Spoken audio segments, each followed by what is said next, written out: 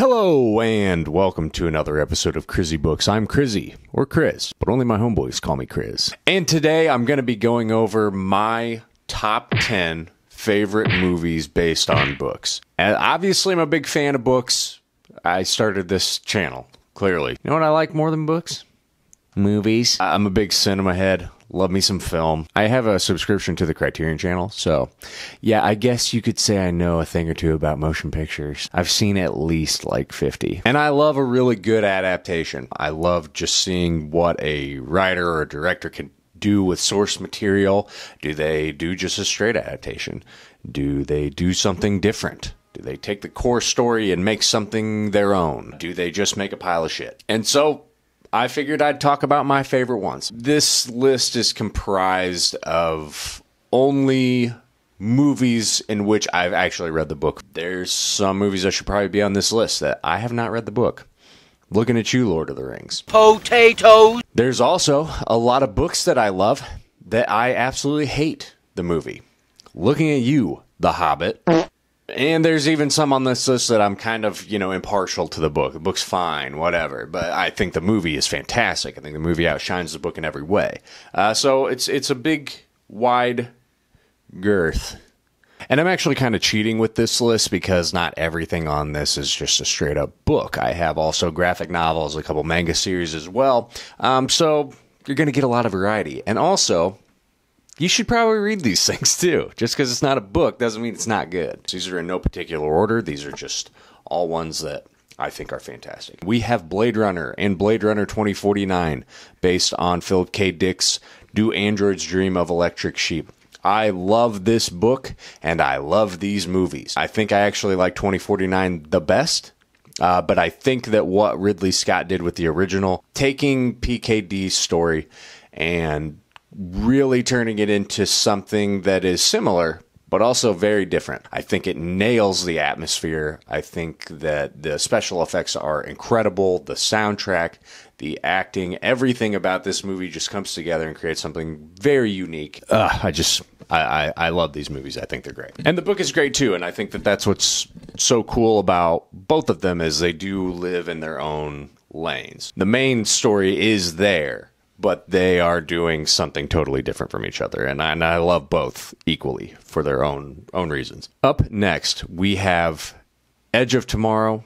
Live, Die, Repeat. I call it Edge of Tomorrow. Based on All You Need Is Kill. I read the manga series, but that's also based off of like a, a light novel or something. I have no idea. But uh, manga's good. Movie is great. Love it. I highly recommend reading the manga if you're interested at all. But this movie is also fantastic. It is one of the most underrated sci fi movies I've ever seen. Awesome Tom Cruise movie. Just a man stuck in a time loop, fighting an alien war, and trying not to die, trying to figure out how to uh, game this loop to not only break out of it, but also end this war. Uh, and it's awesome. Next up on the list, we have Ghost World. I read Ghost World and I watched the movie years and years and years ago. And I think that I just was not emotionally mature enough to understand what it was I was watching or just how good it really is. I recently reread and rewatched both uh, and I love them. I think the graphic novel is great, and I think the movie is really great. Incredibly funny, but also super heartfelt, introspective. Highly recommend either, both, uh, especially if you find yourself being someone of the kind of uh, counter culture or just, you know, you don't seem to fit in or you know whatever it just it nails a lot of those themes really well and and i think they're both really great the martian um, based on The Martian by Andy Weir. Love the book, and I think that the movie did a great job. This is one of those on this list that I think, as a just a straight up adaptation, it did so well. It doesn't stray very much from the actual source.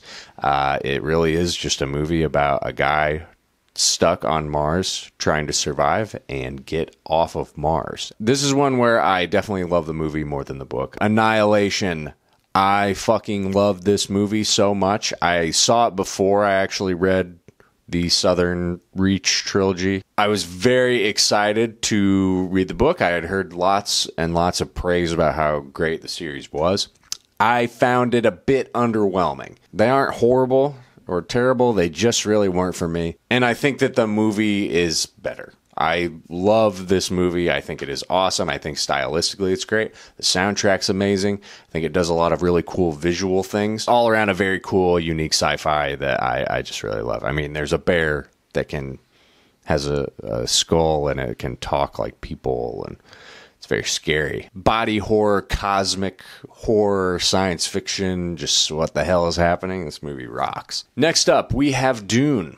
1984. I love this one. It's better than all of them. It's better than the book. It's better than the new movies. I'm just kidding. Gotcha. Pranked you. 1984 is kind of fun. I mean, that's a fun one, but it's not good at all. The New Dunes by Denis Villeneuve. Fantastic based on the book by Frank Herbert. Not a huge fan of Dune. I I don't hate it, but I just don't love it. A lot of people think that it's like the greatest thing of all time, and I just I don't feel the same way. But I do think that the new movies are fucking awesome and they rule and I think that they adapt the story really well. Great visual effects, great pacing. I think that it does such a good job of setting up that world and making you feel a part of it and the immersion is great. Yeah.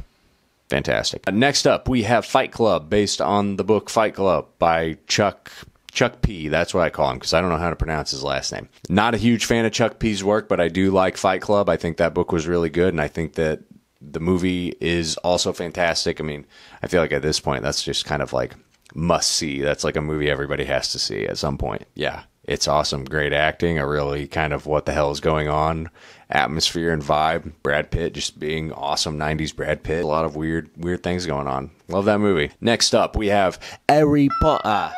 Harry Potter, ah, based on the books by J.K. Rowling. It is still so impressive to me that a movie series that was what eight movies long that it had such a consistent high quality. Every single movie is pretty good too great. I'm not a huge fan of like four and five. I, I, didn't really connect with those ones very much, but I think that everything else was really good. I really liked the first two when they first came out. Prisoner of Azkaban, I think, is where it really turned up a notch and took on a darker tone and got more serious and started doing really cool and weirder things. And I think that the series ended on a really great note.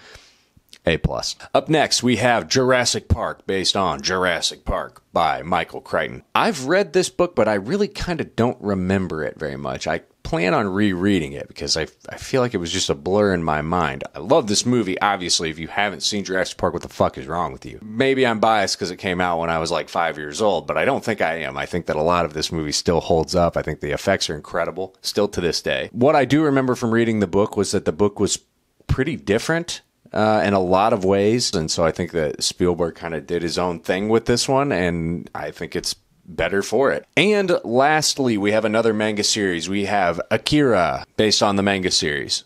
Akira. The manga series is really good and awesome and honestly fills in a lot of the gaps that the movie kind of has. This movie is not necessarily a 5 out of 5 movie, but I think its significance, the animation style of it is unbelievable. It is so good. The overall vibe of it, it has a very cyberpunk tone to it. It's awesome to watch, even where maybe some of its story beats aren't matching up. I think that that's kind of where it struggles. The movie also skips over like a huge portion of the series, but uh, you know, I, I think that the movie is very um, well regarded just for its significance in the genre. I don't consider myself to be a big anime fan, but I think this movie is awesome.